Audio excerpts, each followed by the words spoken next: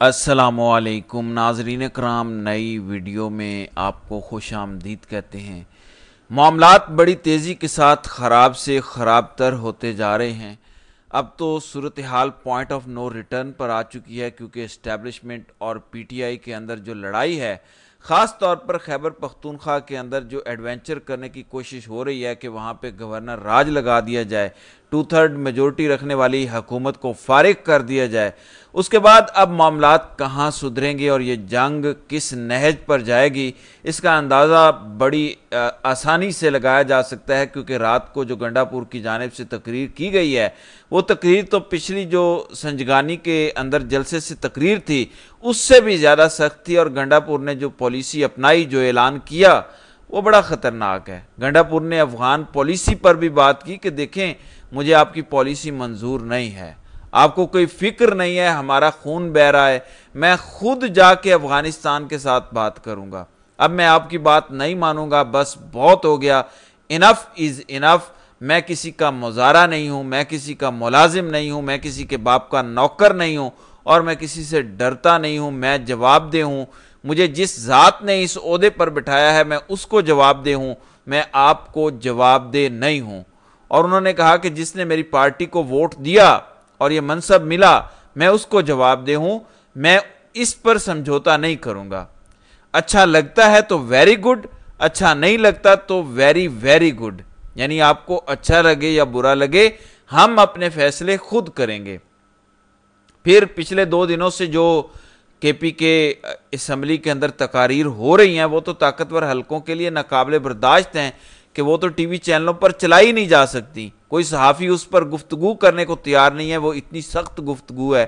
اور کوشش ہوتی ہے کہ وہ گفتگو چلائی نہ جا سکے یعنی جو یوٹیوب چینل پہ لائیو سٹریمنگ ہوتی ہے، اس کو بھی رکوانے کی کل بار بار کوشش ہوئی، کیونکہ باتیں ہی ایسی ہو رہی ہیں۔ ہر ایک ایم پی اے ایک سے بڑھ کر ایک انکشاف کر رہا ہے، اور جو لکی مروت کے اندر معاملات بنے ہیں پولیس دھرنا دیے بیٹھی ہے اور آج خبر آئی ہے کہ پولیس کے ایک افسر کے حجرے کو اڑا دیا گیا ہے، جو کمیٹی احتجاج کر رہی ہے، اس کا ایک ممبر تھا وہ۔ لہٰذا کے پی کے میں جو حالات پیدا ہو رہے ہیں، وہ آپ سب کی سوچ سے بھی زیادہ خطرناک ہیں۔ ایم پی اے ہیں کے پی کے اسمبلی کے امجد علی خان۔ انہوں نے کہا کہ میں حلفن کہتا ہوں کہ آئی ایس آئی نے ہم پر ٹارچر کیا ہے۔ ہم پر چھاپے پڑوائے ہیں، ہمارے بچوں کو اٹھایا، ہمارے خواتین کی تزلیل کی ہے۔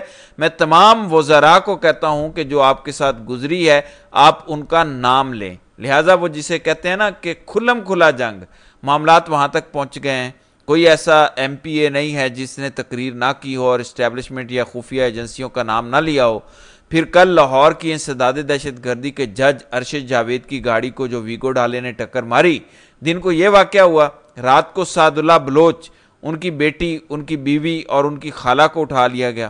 اب یہ خبر آئی ہے کہ سعد اللہ بلوچ نے اپنے آپ کو ایجنسیوں کے یا اداروں کے حوالے کر دیا ہے اور ان کی فیملی کو چھوڑ دیا گیا ہے۔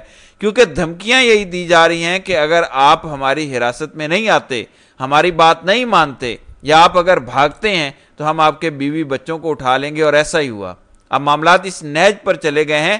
شوکت بسرا کی جانب سے ایک پیغام آیا۔ شوکت بسرا کہتے ہیں کہ ہمیں حکم دے ہم ملک چھوڑ کر واپس انڈیا چلے جاتے ہیں۔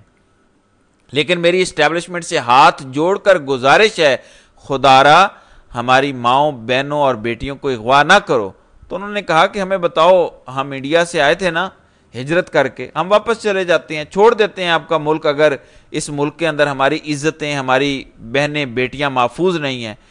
دوسری طرف سنم جاوید کے گھر کو پولیس نے، سی آئی اے نے گھیرا ہوا ہے۔ ان کے والد نے کہا کہ پوری رات سے ہمارا گھیراؤ کیا گیا ہے۔ سنم جاوید کی جانب سے بیان آیا کہ بس بہت ہو گیا، ہم نے بہت برداشت کر لیا، میرے بچے سکول نہیں جا سکے، میں جا رہی ہوں واپس اپنے گھر لاہور، دیکھا جائے گا پھر ہمارے ساتھ کیا ہوتا ہے، ہم برداشت کر لیں گے۔ تو معاملات اتنے خراب ہو گئے ہیں اور کے پی کے کے اندر کیونکہ اتنی زیادہ گنڈا پور بھی سخت تقریریں کر رہے ہیں، بول رہے ہیں، کیونکہ اطلاعات یہ ہیں کہ نوے فیصد تیاریاں مکمل کر لی گئی ہیں گورنر راج لگانے کی۔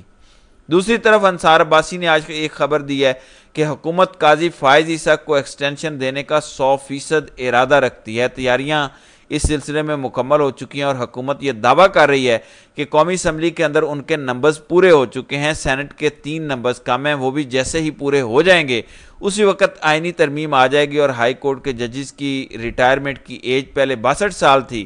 جب کوئی جج باسٹھ سال کا ہو جاتا ہے، وہ ریٹائر ہو جاتا ہے، اب اس کو پینسٹھ سال کر دیا گیا ہے۔ اور سپریم کورٹ کے جج پینسٹھ سال کی عمر میں پہلے ریٹائر ہوتے تھے۔ اس سے پہلے اگر وہ استعفیٰ دے کے چلا جائے تو یہ الگ بات ہے ادروائز پینسٹھ سال عمر ہے۔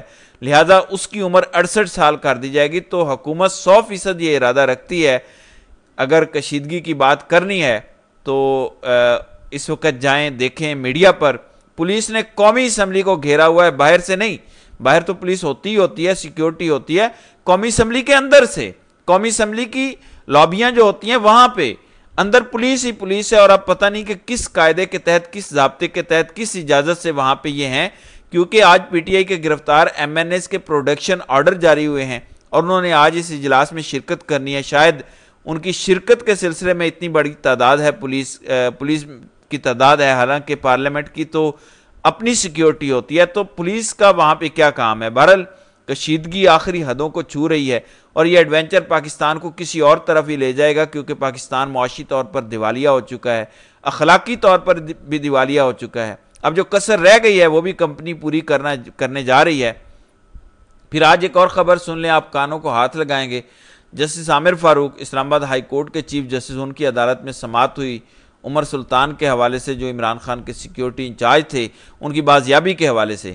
وہاں پہ عامر فاروق نے کہا کہ ہر سیکٹر سے بندہ اٹھایا جاتا ہے۔ آئی جی کی کیا ذمہ داری ہے؟ اسلام آباد میں چوریاں، ڈکیتیاں اور بڑھ رہی ہیں۔ اغوا کے کیسز میں اضافہ ہو رہا ہے، پولیس کو پتہ ہی نہیں ہے۔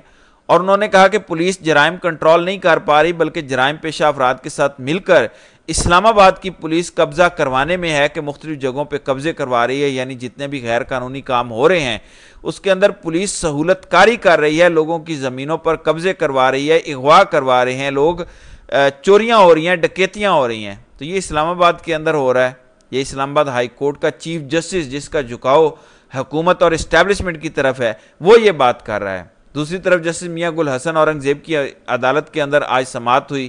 عمران خان کو جو ممکنہ طور پر ملٹری حراست میں لیا جا سکتا ہے، ان کا ملٹری ٹرائل ہو سکتا ہے۔ تو درخواست پر اعتراضات لگے تھے۔ آج اعتراضات کے ساتھ ہی سماعت ہوئی۔ جسٹس میاں گل حسن اورنگزیب نے وہ اعتراضات دور کیے اور بتایا کہ عمران خان کو فوجی حراست میں دکھایا، دیا جا سکتا ہے۔ عزیز بھنڈاری نے یہ بتایا جو عمران خان کے وکیل ہیں۔ تو جسٹس میاں گل حسن نے کہا کہ یہ سیاست ہے۔ اور پھر بتایا کہ D G I S P R کی جانب سے پریس کانفرنس کی گئی ہے، جس کے اندر کہا گیا کہ ملٹری حراست ہو سکتی ہے۔ تو میاں گل حسن نے کہا کہ یہ بھی سیاست ہے یعنی D G I S P R بھی سیاست کر رہے ہیں۔ تو وکیل نے کہا کہ آپ ہمیں لکھ کر دے دیں، آپ اپنے آرڈر میں لکھ دیں کہ D G I S P R سیاست کر رہے ہیں تاکہ وہ جو بیانیاں بناتے ہیں کہ ہم سیاست سے کوسوں میل دور ہیں عدالت لکھ کر دے دے کہ آئی ایس پی آر اور فوج سیاست کر رہے ہیں۔ تو جسٹس میاں گل حسن اورنگزیب نے کہا کہ دیکھیں، سولہ ستمبر تک نوٹس جاری کر رہے ہیں اٹارنی جنرل کو کہ وہ اس عدالت کو مطمئن کرے کہ عمران خان تو ایک سویلین ہے اور سویلین کا تو فوجی ٹرائل ہو سکتا ہے۔ پھر انہوں نے کہا کہ عدالت بھی اس پر پریشان ہے اور درخواست گزار بھی کہ کیسے ایک سویلین کا فوجی ٹرائل ہو سکتا ہے۔ اور ابھی تو آپ کہہ رہے ہیں کہ ایسی کوئی بات نہیں ہے یا ایسا کچھ نہیں ہے۔